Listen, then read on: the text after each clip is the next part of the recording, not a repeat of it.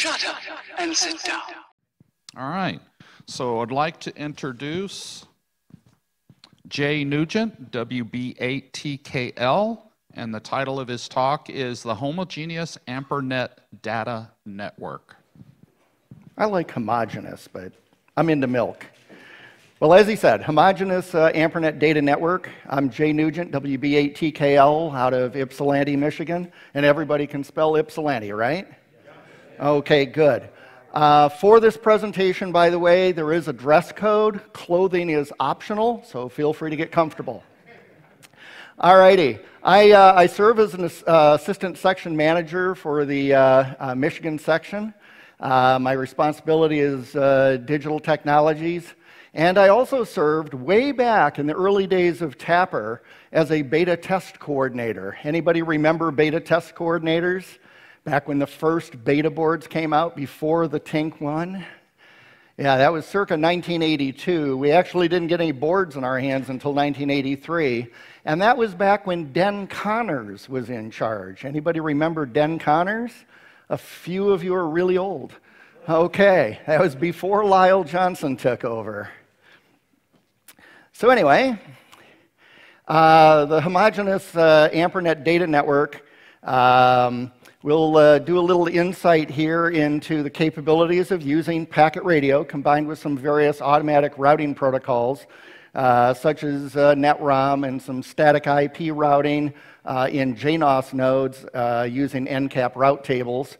And we use this all to go and pass data all around the state and all around the world. And this includes being able to pass TCP IP over the air, end to end over the amateur airwaves. So, what is homogeneous? Homogeneous, uh, similar, comparable, equivalent, and so forth. I like to just refer to it as milk.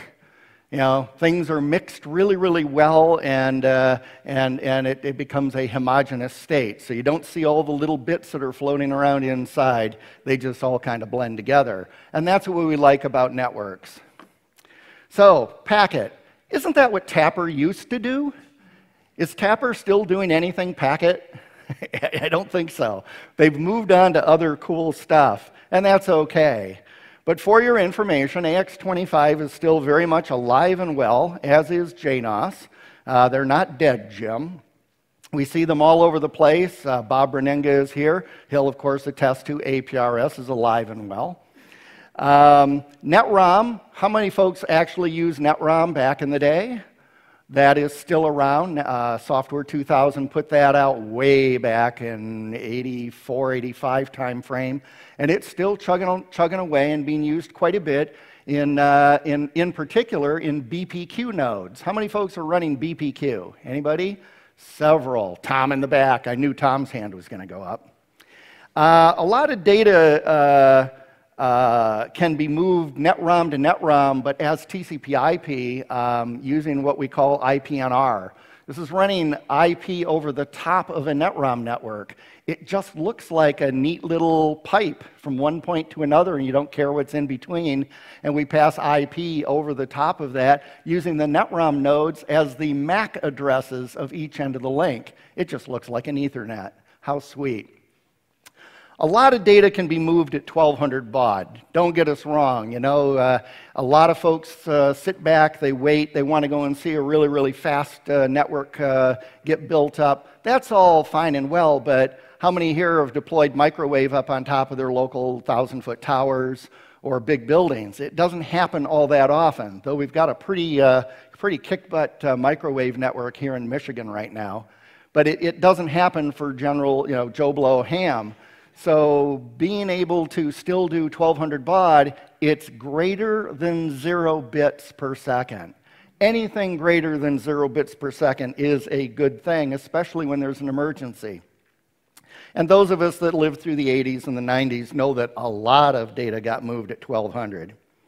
AX25 is indeed a link layer protocol. It is meant as point to point only.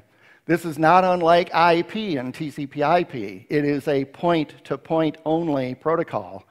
Other things make it go through hops and so forth. And of course, with AX25, digipeaters were the band aid solution that was built into the protocol to allow us to go and use digi, uh, to digipeat packets. That was intentionally, and even said in the original protocol spec, 1. Point, version 1.0, that it was indeed a quote unquote band aid. Um, digi, uh, missed, stepped off my track here. Okay, uh, despite one quarter of the 44 stroke 8 IP address space in the 44 network uh, being sold off to Amazon uh, by the ARDC, we still have plenty of IP address space available for anything and everything we want to do. Uh, how many folks in the room hold some portion of the 44 address block assigned to them, whether it be a single stroke 32 address or more? So there's still a pretty good representation here. Um, selling off that address space, personally, I was kind of ticked off when it happened. I know a lot of folks were. I feel that it was actually the right move. It meant that a bunch of addresses that somebody saw value in, which that value probably won't be around 10 years from now, no one, no one will be interested in IPv4, but while it had value, ARDC unloaded a portion of it that wouldn't hurt the amateur community. In exchange, there's a whole bunch of professors and students that are in this room because of the money that was made on that sale. And the interest from the money the, uh, on that sale is going to continue to fund a lot of emerging ideas and technologies well into the future. So, let's get some color on the screen. How many of you here are familiar with the OSI seven layer model? A lot. Oh my God, I love you all. Well, I love 75% of you. anyway, um, obviously, with packet radio, the radio was the physical layer. It was the thing that moved the tones, uh, simulated a wire, and so forth. Um, the link layer, the next layer up, layer two, uh, that's where AX25 sits in the uh, OSI 7 layer model. I'm going to switch glasses because I'm having difficulty reading my own notes.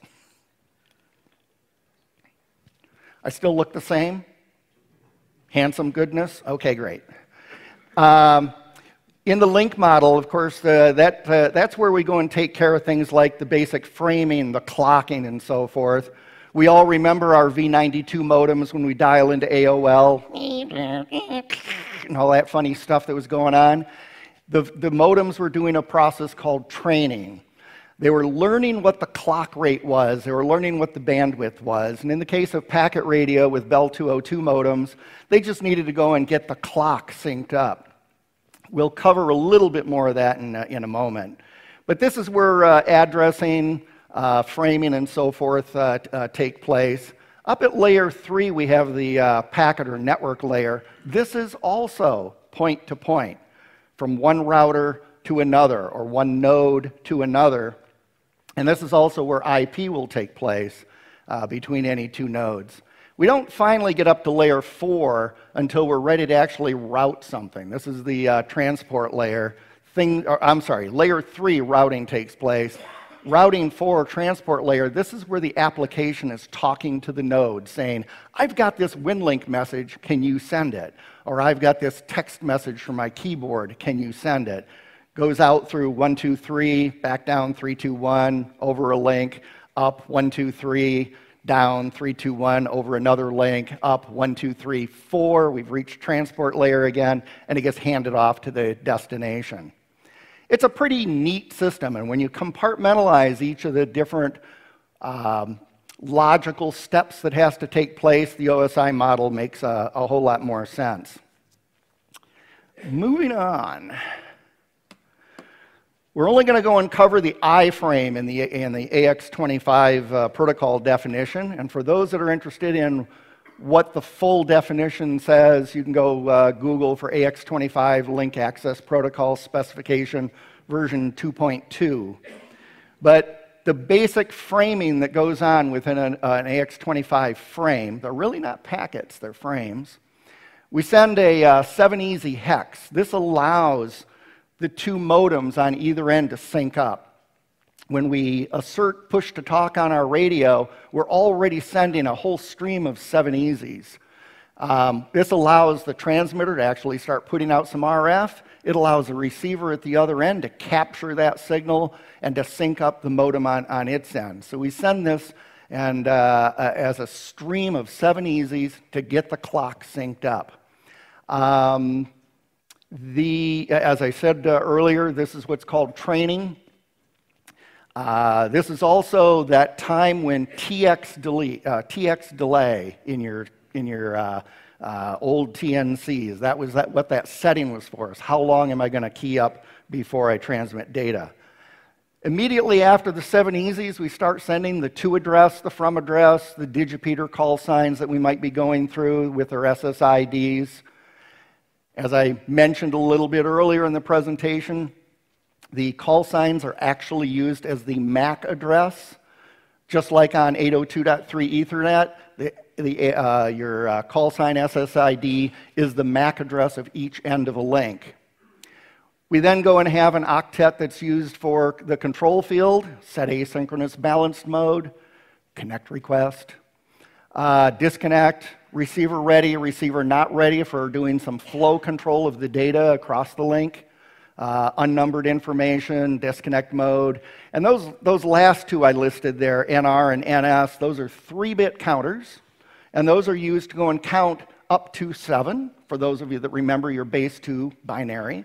Uh, we were allowed to go and have seven packets out on the fly at any one time and then have one acknowledgement come back that says receiver ready and account number says, oh, I, I acknowledge everything uh, up to that number. But the main thing I was getting to here is where is the PID? And the PID is the protocol ID. The protocol ID is where we go and identify what is going to be contained in the next field. Now, most people always think of, oh, well, you know, when you send out a packet, it just goes out and your data is contained in the, in the data field and it's data. But does that data need to then be processed up through a NetROM processor? Does it need to go up through a TexNet processor? Does it need to go into an IP stack, et cetera? So we need to go and tell the, uh, the, the far end what PID we're going to be using. Then we actually contain the actual information and data itself. Uh, the, uh, uh, the data is uh, going to be, in the case of using higher level protocols, that data field is going to now contain layer 3 information encapsulated into this layer 2 frame. We then go and follow it up with a frame check sequence, which is a cyclic redundancy count of everything following the last 7 easy that was sent at the beginning and ending with the very last uh, uh, bit of the octet stream in the data field. Uh, with that, we can then go in and do some uh, forward error correction and acknowledge whether a uh, packet was damaged in any way. It's a 16-bit CRC, and then we end with a 7 easy hex because, hey, why not? We were using them before. We might as well end it with that. So everybody got a feel for what a iframe looks like? Okay. So that PID field, a lot of folks never really grasped this too well when, I, when we were doing Packet in the 80s and 90s. Um, the PID field would have a Fox 0 in it. That just meant there is no layer 3. This is just a plain old AX25 frame, what APRS would use, um, keyboard to keyboard mode, uh, you know, chatting with your friends or doing whatever. Um, no additional networking was, was built in. This is plain Jane AX25 only. However, if the PID was set to Charlie Foxtrot, that meant that what's in the data field is going to be NetROM protocol. And then we're into a whole new protocol specification and how that works. We're not going that deep. Don't worry. I saw some eyes roll back in the heads. But Charlie Foxtrot means the, uh, the data field contains NetROM information. Charlie 3 means that it contains uh, TexNet information. And uh, who here remembers TexNet? Ooh, yeah, okay. Tom does. Tom knows real well. Tom McDermott, right? Yeah, Tom McDermott designed the hardware for TexNet. And his sidekick, Tom Aschenbrenner, did I get the right name? Okay. Tom Aschenbrenner did all the software. And it was awesome. It was assembly code on a Z80. And man, I dug my head into that and I had a ball finding out how this stuff worked and how it did self healing routing and, and stuff like that. It was an awesome, awesome system. And then Greg Jones got involved in it uh, back then as well. Uh, good fun time. Here in Michigan, and Tom Bosher in the, in the back will remember this, we, uh, we took TexNet, we renamed it, we called it GLNet for Great Lakes Net, and we had nodes all over uh, parts of Michigan, Ohio, Indiana, and Illinois. Remember those good days, Tom? He shakes his head, yeah, and the pain that went along with it. um, so, uh, and then of course, if you do a, a, a PID of Charlie Charlie, uh, that was uh, IP. We're now going to run IP. And what runs over the top of IP? I love you guys. And what else? UDP. And what else? Yeah? And what else? Everything. That was the word I was looking for, and it was it took a little pulling it out of you, but I knew you could do it. Um, ARP. We all use ARP. Those of us that do TCP IP work, we understand ARP. We know why it's there. It's only used in IPv4, not in IPv6, because in IPv6, it's smoke and mirrors, gang. But uh, uh, IPv4 uses ARP, so of course, being a protocol unto itself, they needed to go and write it into the uh, PID field of the AX25 uh, info frame. So the ARP protocol was defined. And then, how many folks here have done FlexNet? Me neither. I hear about it, I read about it, I find stuff, you know, I Google for it. There's all sorts of stuff about FlexNet, and I've never run into anybody other than on the, I think in California they use it or something. Anyway, but what protocol is going to be contained inside that iframe uh, is defined by the, by the PID. So, moving on to more interesting stuff. Don't worry, we won't get into any, any more uh, deep protocol stuff, and that was hardly deep. Uh, in Michigan, we basically have four different data communications networks for amateur radio. Uh, there's the TCP IP AMPRnet, a lot of that runs on uh, JNOS or ham gates that are JNOS nodes that have encap route tables on them. Um, they're primarily linked via uh, internet and RF links. I know here in, South, in uh, District 2 South, which is the three counties making up the most southeast cor uh, corner of the state, we're all RF. However, we're all very slow RF. But for the amount of traffic we need to move and how often we have emergencies. I mean, it's a tornado state after all. We don't have earthquakes, we don't have floods, we don't have uh, hurricanes. Um, but our, uh, our data needs are fairly low, but uh, uh we're getting away with some slow uh, RF links at the moment. But we're working on solutions to improve that. Anyway, uh, I will jump in because many times I'm going to remind folks that JNOS now supports WinLink RMS. Uh, Maiko Langelier in Canada, who supports JNOS, uh, uh, did me a favor after a little bit of badgering, and he wrote it in. It was a project he worked on a couple of years back and let die. Now it's in the uh, JNOS code, so uh, we're, we're happy to see that. The other network that we've got going on is BPQ. Uh, how many folks here said that they ran BPQ? Thought there were several, okay. Uh, BPQ can be BQ, BPQ32 running on a Windows box or LinBPQ running on Linux. Um, these nodes are also linked with one another via AXUDP links over the internet or via RF. And of course, BPQ uh, uh, supports WinLink RMS. The third network is the MI7 BPQ network. Same as the other BPQ guys, except they've got it a little easier, I think.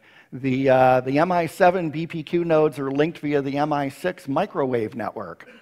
Um, and of course, being BPQ, they also support uh, uh, uh WinLink RMS. And if I've got it right, MI7 was mostly uh, deployed so that people could do WinLink easily throughout the state as it's uh, one of its primary purposes. And then the fourth network is indeed the MI6 microwave network based on mi MikroTik microwave nodes on 2.4 and 5.8 gigahertz. They also provide uh, Wi Fi access on those uh, two bands uh, to anybody who can reach one of the nodes. And uh, MI, MI7 is now up to, I believe, 15 nodes in their, uh, in their network. We'll see a map of that in a little bit.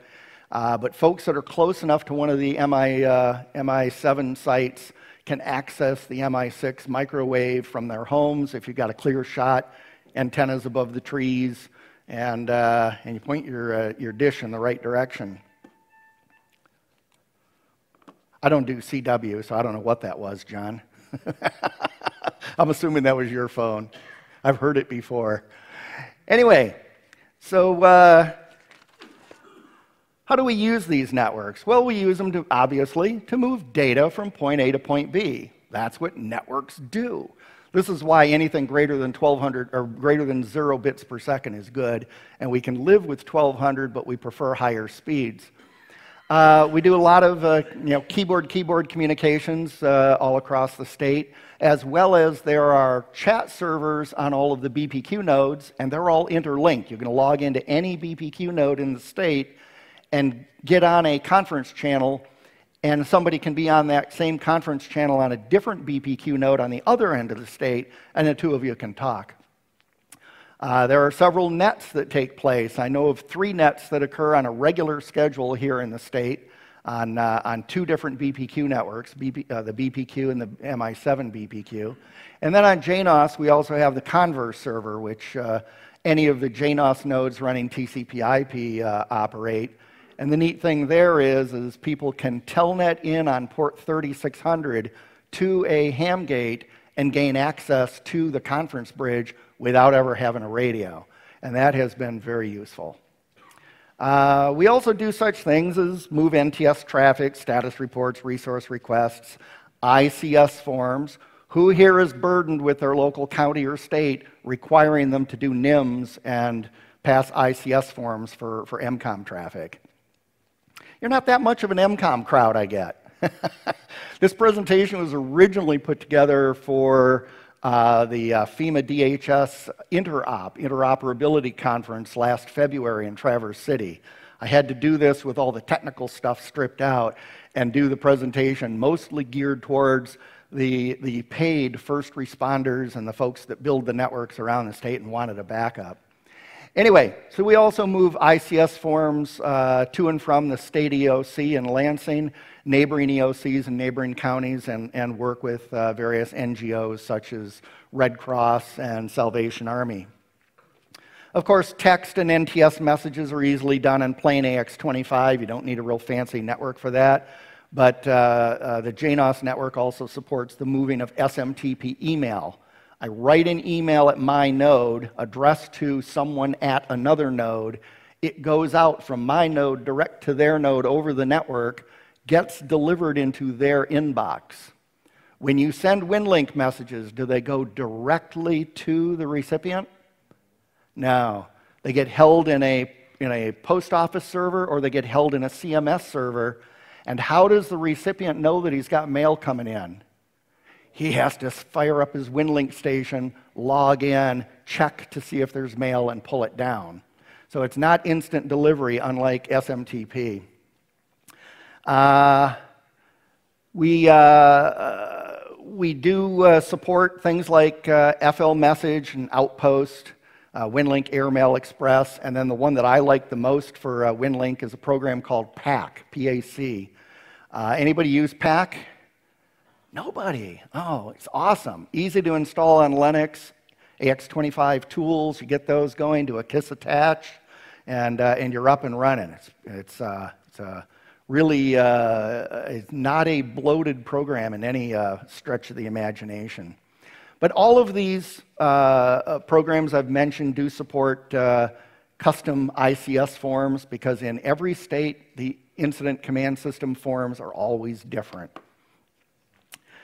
Most important thing about these four networks is they are deployed by three different organizations, all with the intention that anybody can use them any day, day, night, time of day, whatever, with one exception, and that is to please stand down your traffic if there's an emergency or a drill going on at that time. And we found hams are really, really good about that. They can, they can burden the network, play with things, experiment, transfer files, have a good time, and then when there's a drill or an exercise, they'll just go do something else for that day, or they'll be involved in the exercise. But uh, these networks are not just for EMCOMM, they're uh, intended for daily use by uh, Joe and Jolene Ham. Anybody know Joe and Jolene? Really, really nice couple. We built whole networks just for those two so they could chat. Really sweet pair. Anyway, um, what this does for us by having everybody use the network anytime they want for anything uh, guarantees that we end up with a pool of trained and equipped operators to draw upon in times of need. Because if we only built a, an EMCOMM data network and nobody used it daily, we wouldn't have anybody that knew how to use it, and we wouldn't have anybody with home stations ready to hook into it and use it when, they, when something is, uh, when, when the stuff hits the fan. So uh, you definitely want to have a, a, trained pool of operators. More color, yay!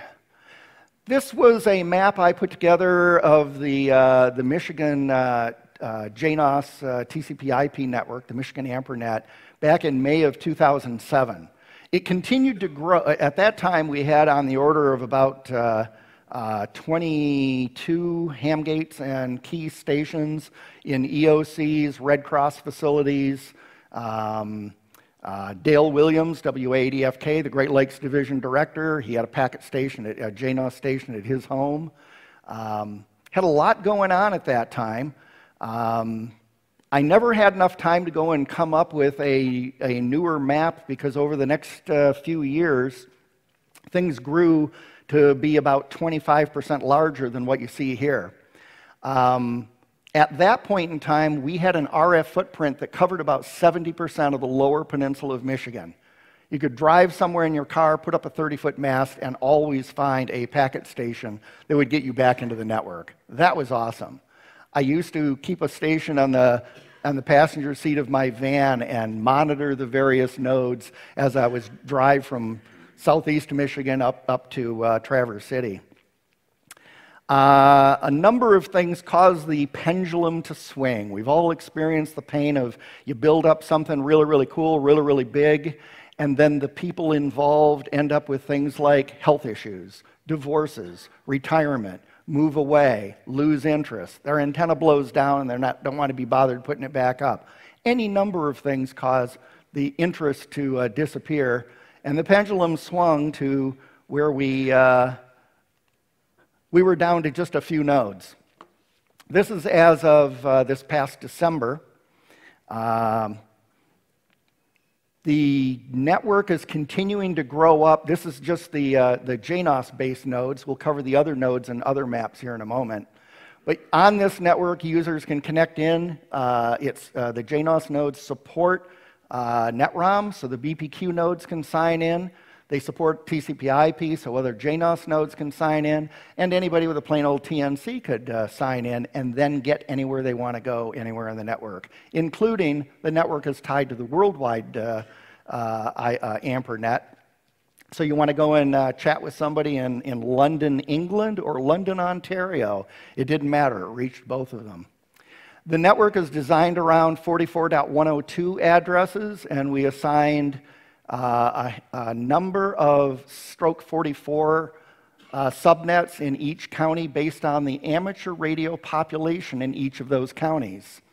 Uh, Jeff King, WB8WKA, and I sat down and went through a lot of data to go and figure out how many addresses we'd allocate to each county.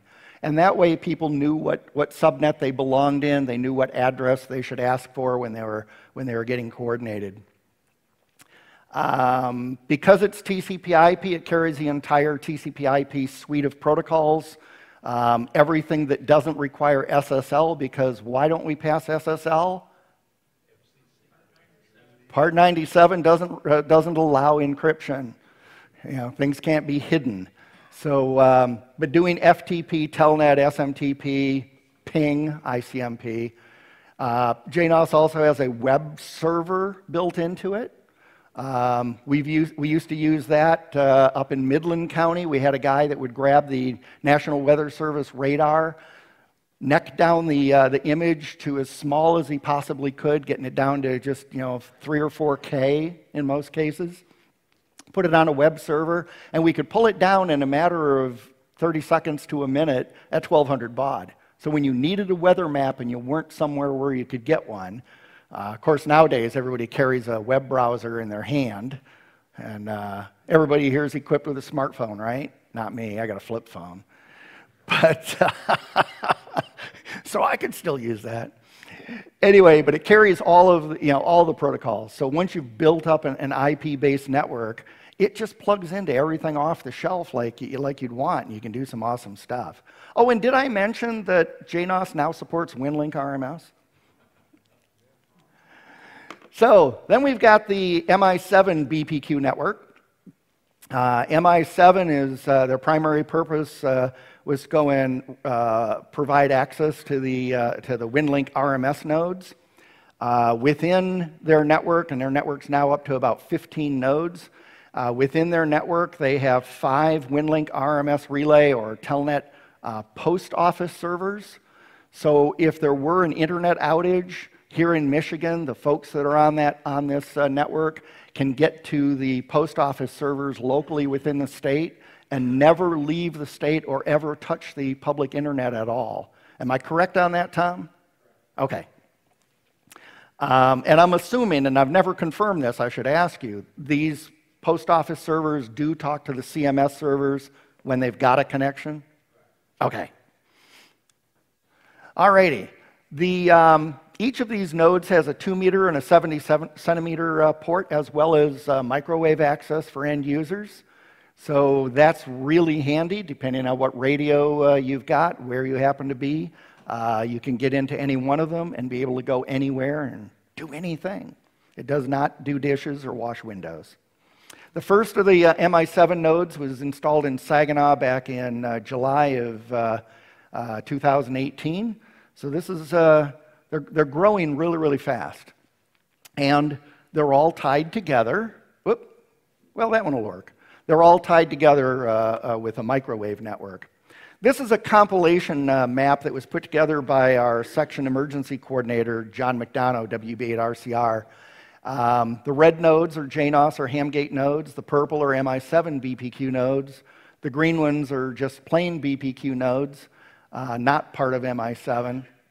I think the blue ones, as I check through this, they all appear to be EOCs, Emergency Operations Centers, for individual counties uh, throughout the state that were packet equipped. And then the yellow uh, nodes uh, on the list are not part of the data network, but they happen to be uh, well known uh, WinLink HF stations in the state. After all, the section emergency coordinator needs to know where his resources are, so that's why he built, uh, built that fine map for us. It is now approaching a year old, so there's a lot more dots we can put on that. Anybody notice a pattern of where all these things are, all these dots are, all these balloons? They're, they're along the coasts. They're in around Lansing, southeast Michigan, Detroit. There should be a whole lot more around Kalamazoo because I know there are people in Kalamazoo. And there's several more uh, balloons that should be in and, in and around uh, uh, Grand Rapids. But uh, they're primarily where all the population is. You might notice there are some big green forests in the middle of this, all up in the upper part of the uh, lower peninsula and through the upper peninsula. And those, people don't live there. That's, that's for the deer and the antelope, for them to roam. Oh, we don't have antelope. The MI, question? We have elk. We have elk, yes. We have big elk. Don't hit them with your car, it's worse than a deer. MI6 microwave network is a uh, backbone made up of MikroTik microwave nodes uh, and a there are some wired data circuits, and, uh, and I don't know if they're still in place, but there had been some LTE cellular broadband uh, connections. And uh, Fred had uh, alluded to some of the connections were even fiber optic. Um, so we end up with some pretty high speed connectivity on the MI6, mi MI6 microwave. Uh, originally, the MI6 uh, microwave network was deployed for the MI5 DMR network, tying a number of DMR repeaters all around the state together, all with non telco infrastructure. What does that mean to us? Phone company loses a cable, loses power, whatever. Our DMR repeaters all remain connected to one another. Um, there are advantages to not using the internet when, uh, when something goes wrong. As I said before, 2.4 and 5.8 gigahertz uh, access for uh, users. Typically, you need to be line of sight. Uh, microwave doesn't go well through trees, which puts you in the 10 mile range for, for good connectivity. There are folks that have far exceeded that. When you do connect via the microwave, uh, a microwave access, It'll serve up a 44.103 address to you via DHCP. And he, uh, uh, Fred and the CMEN group have uh, real fine instructions on their webpage how to set that up. They have a number of pop locations, and when I wrote this slide, I had no idea where they all were. And then I did sort of a V8 this morning as I was driving over here and realized, oh, wait a minute. The uh, MI6 network has a, a, a web page where they're monitoring each of their microwave nodes and the status of it. And I can just look at the, the city names, and I'd know all the cities that, that the sites are in. So I'll update that slide before the next time I do this. Interoperability. This is kind of the whole point of these four networks. They all carry traffic, but none of them are a walled garden. Everybody's familiar with the term walled garden? Yeah, you don't want things that are just islands unto themselves because uh, we want to uh, you know, foster the ability and collab- uh, yeah, the ability to foster collaboration with open interoperable protocols that work just fine across organizational boundaries. You might have picked up here, we've got three different organizations going on. We've got the TCP IP JNOS network, AMPRnet. We've got the, uh, the BPQ nodes, owned and operated by individuals, and we've got the MI7 BPQ nodes. So there are three different organizations, but they all talk NetROM, and many of them, the MI6 and the, uh, and the AMPRNet, talk TCP IP within the 44Net.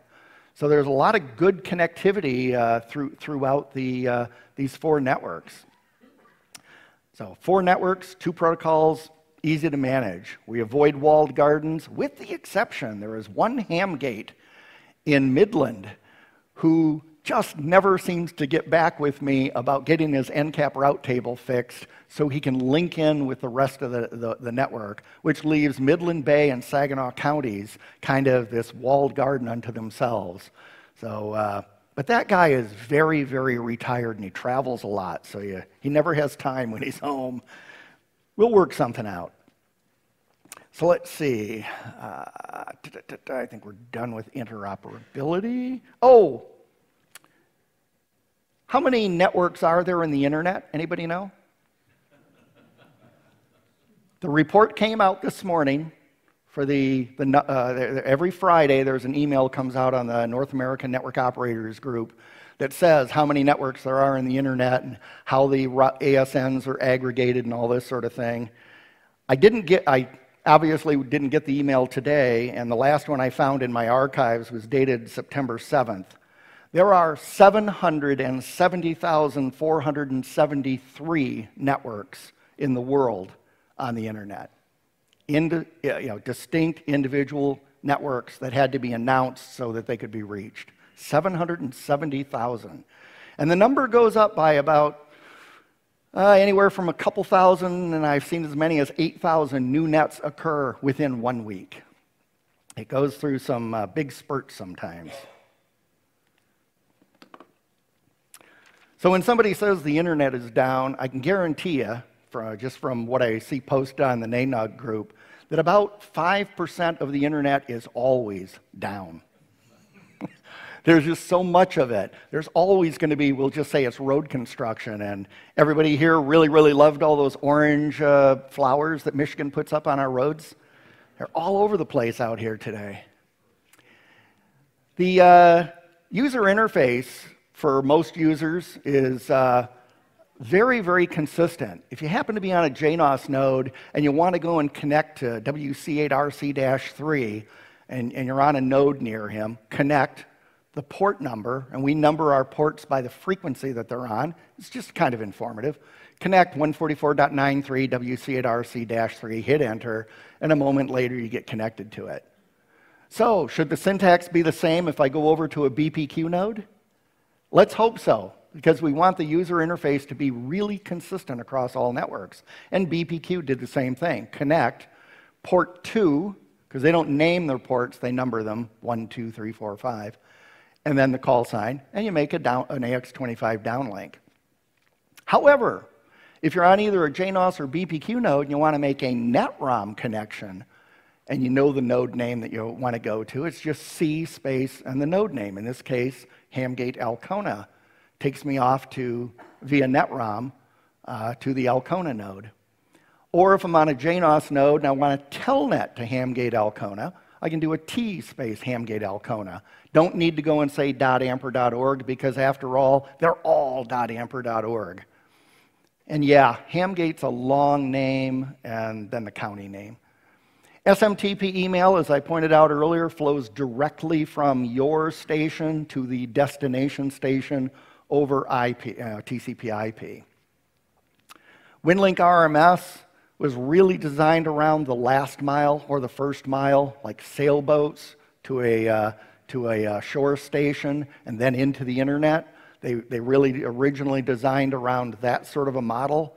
Um, so being able to come into an RMS server, all an RMS server does is connect your radio to the internet and it, and it sends the data off over the internet to a CMS server, a central mail server. And there are a bunch of them all over the world. Um, so an internet failure could indeed cause WinLink not to work because only the last mile, first mile is, is radio. However, the MI7 guys have got it, uh, got it right by putting their own um, post office server on the microwave network as the first stop for all of their RMS traffic. That was a, that was a slick move. All righty. How am I doing on time? 10. Okay, I better speed it up. Who manages the networks? The JNOS AMPRnet is uh, primarily uh, managed by the ARRL Michigan Section Digital Radio Group, which, which I've uh, chaired since 2004. Uh, we're mostly there to go and rally interest and, and keep people moving in a common direction towards building out the uh, networks. There's the website for it, www.mi-drg.org. a lot of resources there for those that go to the website. MI6 Microwave and MI7 BPQ are uh, managed by the Central Michigan Emergency Network, or CMEN. Uh, they have a group of uh, board of directors that manage the operation of the entire network, uh, www.w8cmn.net. And then there's everyone else who puts up a BPQ node, uh, private individuals, county ARPSC groups, and so forth. By the way, those of you that have KNet no, or um, KPC3 pluses with the right firmware can turn on a thing called KNet, not KNode, but KNet, and it becomes a NetROM node. Did you know that? No, not KA node. It's just KNet, and not KNode, but KNet. But you have to have a KPC3 Plus with the right firmware in order to turn that on. Um, I will skip over that. I will go and show that there are, uh, no matter which of the uh, networks you hook into, you end up what we lovingly refer to as the alphabet soup prompt. Now, certainly, see if I get the pointer without pushing any other buttons. You'll see all the commands here are a single letter, one or, one or two letters. That's what you'll see on a JNOS node. They've got lots and lots and lots of commands because they do lots and lots and lots of things. This is a, a typical alphabet soup prompt, which actually has words RMS, chat, connect, buy, info. Uh, we have uh, C for connect and uh, uh, uh B for buy and I for info. We use single letters. But it's a, it's a BBS-like uh, interface. And when you're working in a low bandwidth environment, that's important. The program that we like to push people into using is a thing called Outpost. It is uh, an email client, uh, runs on Windows, will run on Linux under, under Wine, and it handles all the handshaking between your computer through your TNC to your nearby node or, or BBS. And as you can see, looks like your typical uh, mail client, email client. FL Message, uh, FL Message and FL Digi were really meant for HF, but you can use FL Message to go and fill out something like an ICS form. It will give you the output in, in a text format, letting you see what it is it's actually going to send over HF. And then you can cut and paste that into a terminal window and, and send it via packet. We did a statewide drill here, uh, was it last year, George? Or uh, uh, Steve? It was last year. And that was horrible. That was absolutely horrible. That's a bad way to operate. But we got it done, and, and uh, Uh, 16 out of 83 counties actually got a message to the state EOC that way. I think there were only 20 participating, so it wasn't that bad a record. Um, WinLink AirMail also supports ICS forms. Um, you merely go and configure this to go and connect with your nearby RMS node, which is usually the call sign of the node dash 10. Most WinLink stations are dash 10. And it'll let you go and connect in and, and pass your mail, and everything's done in the background without you ever, ever knowing, never having to deal with it. A lot of this stuff runs on a simple Raspberry Pi with a Tink Pi mounted on top of it. Everybody's got a Raspberry Pi. $35, you got a Raspberry Pi. 40 bucks, you get a Tink Pi in kit form. Takes 20 minutes to solder it together. Even if you're needing bifocals like me, I can put one together in, in 20 minutes. So uh, awesome, awesome little, uh, uh, little node. Um, it uses the one and only serial port on the Raspberry Pi to go and talk to the TinkPi. Um, however, what if I want more than one radio port? Like that. I've got three. I can't use one serial port. Oh, well, the Raspberry Pi uses I squared C. And a lot of programmers in the crowd, you all know what I squared C is? Okay, nobody's raising their hand, but I'll believe that you know it. Yeah, hardware guys too. But uh, you can go and configure the uh, Ras or the uh, TinkPis for uh, a specific, you know, unique uh, I squared C addresses, and then they just use the I squared C bus.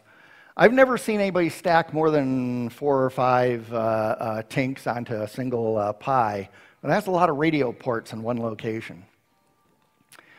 Um, the, uh, I already covered that about the TinkPi serial ports. There is a uh, installing JNOS onto a Raspberry Pi. There's a how-to on the DRG website, uh, mi-drg.org. There's configuration files that are in the very next section on that page. Go and show you how to configure it. And I purposely set up those config files for uh, um, W1AW. Anybody guess why I set it for W1AW? So no one would put a node on the air until they were done properly configuring the node. Because people get embarrassed when they go and broadcast W1AW. And I used to go and put them out with my call, and I would see my call in, in, in beacons on, on nodes on the other side of the state. I'd travel around the state and I'd go and see, uh, see nodes with my call on them, and it's like, dude, you got to fix that. I don't mind if they do W1AW, that's on them. Um, and I just, uh, I just finished up this node. This is going to be Hamgate Monroe. Um, I just finished this one up. It is, it, its image, the SD-RAM card on this, is uh, Noobs um, with JNOS already compiled, already pre-installed, with WinLink support, with APRS support, with SNMP support. I put everything in it. Uh, it's already uh, uh, compiled and pre-installed, and then I went and made some drop-down menus so that you can start and stop the uh, processes through an ungodly awful tool known as systemd. Oh, yeah. Groan with me, gang, Groan with me. systemd. Oh. So um, I hope to go and have that completely debugged and, and feeling safe about it, and then I'll put that up on the website so people can just download it, squirt it to an SD RAM, put it in their, in their Pi, boot it up, edit the config file, and they've got a node on, on, online. Um, oh, and did I say JNOS now supports WinLink RMS? All right. Yeah. And, uh, it, and it also supports APRS. So where I had three ports on that one box, I could have my local access port, I could, could have a UHF port, I could have a APRS port, and they could all be working all at the same time on one box because JNOS is the Swiss Army knife of packet. So, Bob Bruninga, he did his thing on pushing green energy and solar power and that sort of thing. And you know, we'll, we'll go and do this energy independence and green jobs and, and livable cities and renewables, yay ha, and clean water. What if it's a hoax? Yeah, would we, yeah we create a better world for nothing. Yeah. By the way, Bob, if you want that slide, I'll send it on to you. Thank you. Uh, the URLs that I mentioned uh, in the presentation are there on the screen. And did I hit it on the money? Okay, we got a question over here. Fred, or uh, excuse me, Jay, uh, I'm Mark WB on QZB. We'd been communicating prior to the DCC about trying to get Fred Moses here Yes. to demonstrate the new French NPR IP-based 70 centimeter data radio. We were unsuccessful in that endeavor. Apparently, Yep. Fred was busy with a work commitment. But my There question is, my, mm-hmm. my, my question is, given that it's on 70 centimeters, it looks like a very interesting IP database radio. Do you anticipate experimenting with that here in Michigan more going forward? We will leave that task to Fred. He, uh, he has already purchased, uh, I don't know how many, like a dozen of these things, uh, these nodes, bought up all the parts, built up a bunch. He's had some running and he has reported back to the DRG that, that they were working really, really well. I think his next step is he wants to go and deploy them on one of his MI7 node sites and then set up a bunch of users and see how that works out. Fred and his, and his crew were unable to be here because there's an MS Bikeathon going on in Michigan that is really, really huge. And I mean, it is a big ordeal for him and his crew to go and deploy and provide the communications for. So he had a conflict in scheduling. We also tried to get the creator, the, the French guy who created it here to the DCC. We're unsuccessful in that too, but maybe next year. Yeah, well, you know, there's this money that ARDC is making available. Maybe you can dip into that and get the guy flown out. Yeah. Any other questions? Any questions? And just a, before I go, show of hands, how many people still have packet radio equipment, whether it be a plain old TNC? Ah, ah, yeah. Put them on the air, guys. Put them on the air. Thank you very much. Thank you.